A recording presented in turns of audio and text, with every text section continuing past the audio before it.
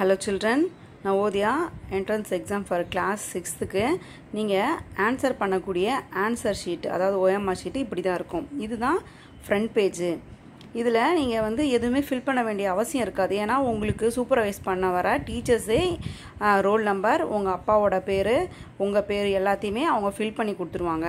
இந்த ஓஎம்ஆர் ஷீட்டோடைய first page first side இது. இதனுடைய செகண்ட் சைடு அதனுடைய பேக் சைடு பார்த்தீங்கன்னா இதுதான் அந்த ஓஎம்ஆர் ஷீட்டு நீங்கள் ஆன்சர் ஷீட்டோடைய பேக் சைடு அந்த ஃப்ரண்ட்டு பேஜையும் அவங்க ஃபில் பண்ணிவிடுவாங்க அது இந்த பக்கத்தில் இருக்குது இல்லையா? அந்த ரோல் நம்பர் மெயின் ஷீட்டோட புக்லெட் நம்பர் இது எல்லாத்தையுமே டீச்சர்ஸே ஃபில் பண்ணிவிடுவாங்க அதனால் நீங்கள் எந்த ஒரு கவலையும் பட தேவையில்ல.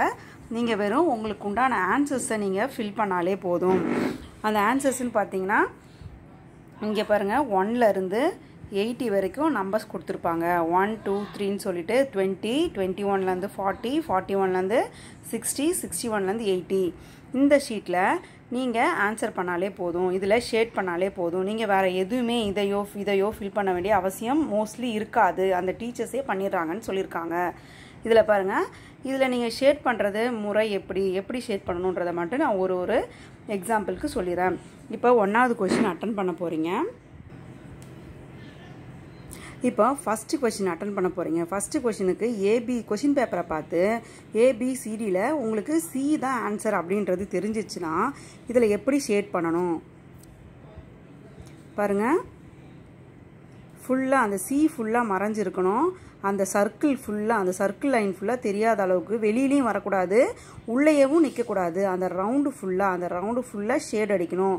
நீங்கள் பால் பாயிண்ட் பென்னு தான் யூஸ் பண்ணணும். ப்ளூ இல்லை பிளாக்கு பால் பாயிண்ட் பென்னு தான் யூஸ் பண்ணணும். இப்போ இந்த ஃபஸ்ட்டு கொஸ்டினுக்கு ஆன்சரு சின்றதை மார்க் பண்ணிட்டீங்க. இப்போ ரெண்டாவது கொஷினை பார்ப்பீங்க அதுக்கு வந்து சப்போஸ் ஏ தான் ஆன்சர் அப்படின்னு நீங்கள் முடிவு பண்ணிட்டீங்கன்னா கரெக்டாக இந்த ஏல இப்படி அடிக்கக்கூடாது. இப்படி அடித்தா ஆன்சர் இன்வேலிட் ஆகிடும் அதை எடுத்துக்க மாட்டாங்க. அதனால் இந்த சர்க்கிள் ஃபுல்லாக கம்ப்ளீட் பண்ணணும். இப்போ அடித்தா தப்பு. அதனால் இதை ஃபுல்லாக கம்ப்ளீட் பண்ணி நல்லா டார்க் ஷேட் பண்ணணும். இப்படி தான் ஆன்சர் ஷேட் பண்ணணும். இப்போ மூணாவது கொஷினுக்கு டி ஆன்சர் அப்படின்னு நீங்கள் முடிவு பண்ணிங்கன்னா நல்லா நீங்கள் தெளிவாக அந்த ஆன்சர் ஏபிசிடியில் ஏதாவது ஒன்றுத்துக்கு தான் நீங்கள் அடிக்கணும். திரும்ப இதில் ஏ இப்போ ரெண்டாவது கொஷினுக்கு வந்து ஏன் இல்லை ஏ தப்பு நான் பி தான் ஆன்சரு அப்படின்னு நினச்சி திரும்ப நீங்கள் இதில் போய் ஷேட் பண்ணால் இந்த கொஷினுக்கான எடுத்துக்க மாட்டாங்க. அதனால் நாலு ஆப்ஷனில் ஏதாவது ஒன்றுத்துக்கு தான் நீங்கள் ஷேட் பண்ணணும். தப்பாக சப்போஸ் பண்ணிட்டா கூட விட்டுருங்க. அடுத்த கொஷினுக்கு போயிடுங்க. இப்போ மூணாவது கொஷினுக்கு திரும்ப பி தான் ஆன்சர் அப்படின்னு முடிவு பண்ணி தெளிவாக முடிவு பண்ணுங்கள் முடிவு பண்ணதுக்கப்புறம் கரெக்டாக கொஸ்டின் அதுக்கு நேராக இருக்கிற ஆப்ஷனு அப்படின்னு பார்த்து கரெக்டாக பீனா பி இப்படி பாதி வந்து வெள்ளை ஒயிட் தெரிகிற மாதிரியோ பாதி கலர் தெரிகிற மாதிரி அடிக்கூடாது கரெக்டாக இந்த ரவுண்டு ஃபுல்லாக கம்ப்ளீட் ஆகிற மாதிரி இந்த ஷேப் ஃபுல்லாக கம்ப்ளீட் ஆகிற மாதிரி அடிக்கணும்.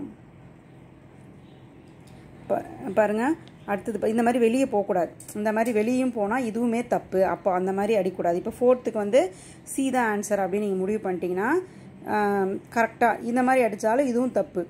ஃபுல்லாக அந்த கம்ப்ளீட் பண்ணணும். அந்த ரவுண்டை ஃபுல்லாக கம்ப்ளீட் பண்ணணும். வெளியிலையும் வராத அளவுக்கு பார்த்து அடிங்க. இதுவும் தப்பு. இப்போ பாருங்கள் அஞ்சாவது கொஷினுக்கு சி த டி ஆன்சர் அப்படின்னு முடிவு பண்ணிங்கன்னா இப்போ பாருங்கள் இப்படி அடித்தா தப்பு. இதை எடுத்துக்க மாட்டாங்க.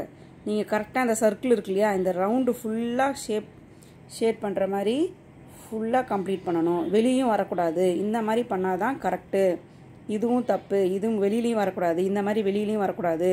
அப்படியே அதே மாதிரி உள்ளேயும் நின்றக்கூடாது. இப்போ இந்த கொஷினுக்கு பார்த்தீங்கன்னா ஆறாவது கொஷினுக்கு இப்போ இந்த மாதிரி அடிச்சிட்டும் நீங்கள் விட்டுறக்கூடாது. இது தப்பு. இதை ஃபுல்லாக கம்ப்ளீட் பண்ணணும். சரிங்களா? இந்த மாதிரி எல்லா கொஷினுக்கும் வரிசையாக இருபது வரைக்கும் இங்கே இருக்கும். அடுத்து இருபத்தி ஒன்றுலேருந்து அப்படியே இருபத்தி நாற்பது வரைக்கும் இங்கே இருக்கும். நாற்பது வரைக்கும் மென்டல் எபிலிட்டி டெஸ்ட்டில் வந்துடும் நாற்பத்தி ஒன்றுலேருந்து மேக்ஸு மேக்ஸுக்கான கொஷின்ஸ் எல்லாத்தையும் எல்லா சாப்டரும் எல்லா தெரியலனா கூட எதையாவது ஒன்று ஃபில் பண்ணுங்கள் ஏன்னா நீங்கள் எல்லா கொஷினும் அட்டன் பண்ணியிருக்கணும். சிக்ஸ்டி வரைக்கும் மேக்ஸு சிக்ஸ்டி ஒன்லேருந்து எயிட்டி வரைக்கும் லாங்குவேஜ் காம்ப்ரஹென்ஷன் கொடுத்துட்டு அதுக்கான ஆன்சர் கொடுத்துருப்பாங்க. இது வரைக்கும் நீங்கள் கரெக்டாக எல்லா இந்த நாலு ஆப்ஷனில் ஏதாவது ஒன்று நீங்கள் மார்க் பண்ணுங்கள் ரெண்டை மார்க் பண்ணக்கூடாது. அதுவும் மார்க் பண்ணும்பொழுது இந்த ஷேடிங்கை கரெக்டாக ஷேட் பண்ணும். சிலது நீங்கள் வந்து இந்த கிராஸ் குழி போடுறது டிக்கு போடுறது இதெல்லாம் எதுவுமே வச்சுக்கூடாது. அதை மாதிரி பண்ணிங்கன்னா அதுவுமே தப்பாயிடும் ஏன்னா ஒன்லி ஷேடிங் மட்டும் தான் இதெல்லாம் அலோட் பண்ணுவாங்க. இது டிக் பண்ணுறது இல்லை இது இப்படி கிராஸ் பண்ணுறது இதுதான் சரின்னு சொல்லிட்டு போட்டால் அந்த வேலிட் அந்த ஆன்சரே எடுத்துக்க மாட்டாங்க. இன்வேலிட் ஆகிடும் இது மாதிரிலாம் நம்ம பண்ணக்கூடாது. ஒன்லி ஷேடிங் அதுவும் ஃபுல்லாக அந்த அந்த அந்த ரவுண்டு ஃபுல்லாக மறையிற அளவுக்கு அந்த லெட்டரும் அந்த ரவுண்டு மறையிற அளவுக்கு ஷேடிங் பண்ணணும். இதை பண்ணி முடிச்சதுக்கப்புறம் எயிட்டி கொஷின்ஸை முடிச்சதுக்கப்புறம் உங்களுக்கு வேலை என்னென்னா நீங்கள் வேறு எதையுமே பார்க்க தேவையில்ல. அந்த எயிட்டி கொஷின்ஸை ஃபில் பண்ணிவிட்டு இங்கே உங்கள் கையெழுத்த போடணும். ஒன் டூ த்ரீ பாக்ஸ் இருக்கும். அந்த த்ரீ பாக்ஸில் நடு பாக்ஸு சென்ட்ரு பாக்ஸில் சிக்னேச்சர் ஆஃப் த கேண்டிடேட் இருக்கும். அந்த இடத்துல உங்கள் சைனை நீங்கள் போட்டுற வேண்டியது தான் ரன்னிங் லெட்டர்ஸில் போட்டுற வேண்டியது தான் சரிங்களா? இதுதான் நீங்கள் பண்ண வேண்டியது. அதனால் நீங்கள் வந்து ஆன்சரில் மட்டும் கான்சன்ட்ரேட் பண்ணால் போதும். ரோல் நம்பரோ அல்லது கேண்டிடேட் அந்த புக்லெட் நம்பரோ நீங்கள் கான்சன்ட்ரேட் பண்ண வேண்டியதில்லை.